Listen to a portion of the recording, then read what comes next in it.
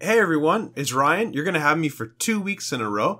I'm pitching in because unfortunately, Jim is trapped in Scotland, so you're stuck with me for this week. This week, I want to talk about I'm late for everything. If you ask my friends what my one really bad weakness is or my one really bad character trait is, it's that I'm late for everything. Everybody expects me to be late. I mean, late for everything. We're talking about work, we're talking about social engagements, everything. Let's talk about work, for example.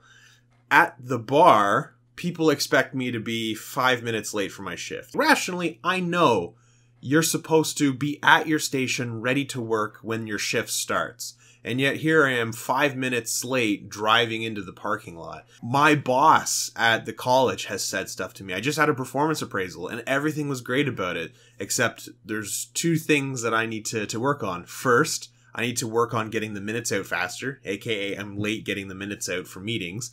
And second, I need to work on arriving to work late. It got so bad that uh, a couple weeks back, so our dog, we take him to doggy daycare a couple days a week. One of the times when I was dropping him off, they, they looked at me and they're like, "What's uh, what what do you do for a living?" Well, you know, I, I work at the college. I'm an administrator. Oh, okay. We were always wondering why you were dropping him off so late relative to everybody else. It's just, it's, it's a thing. I am late for everything. Uh, and it's, it's, it really comes down to poor time management. It's, it's just a really bad habit that I've gotten into where I don't really think about how long it's going to take me to do tasks. I don't really think about travel time if I have to go somewhere. And so I end up having to rush for everything. It's gotten to the point where when I was thinking about New Year's resolutions, I was thinking about what kind of behaviors I wanted to change. I don't really set New Year's resolutions uh, in the traditional sense uh, because I know that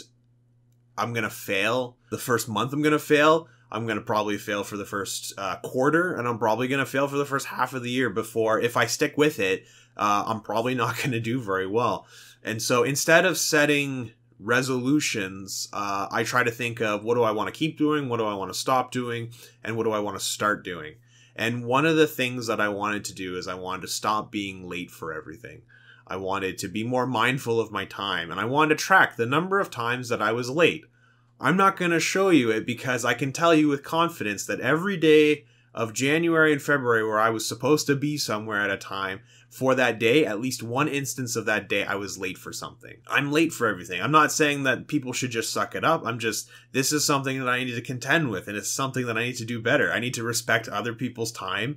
I need to be more mindful of the time that I spend because it's, there's so much wasted time in there. Even though I have no real resolution. I'm not like, it's not like I'm doing better. It's the start of March and I'm still late for everything. When we try to stay awesome, that doesn't mean that we're automatically going to be awesome at everything. It's going to be a struggle to try to take care of things. We can't be awesome all the time, and sometimes you just really have to work hard in order to improve yourself. So I'm going to try my best to not be late, but I'm going to fail a lot along the way.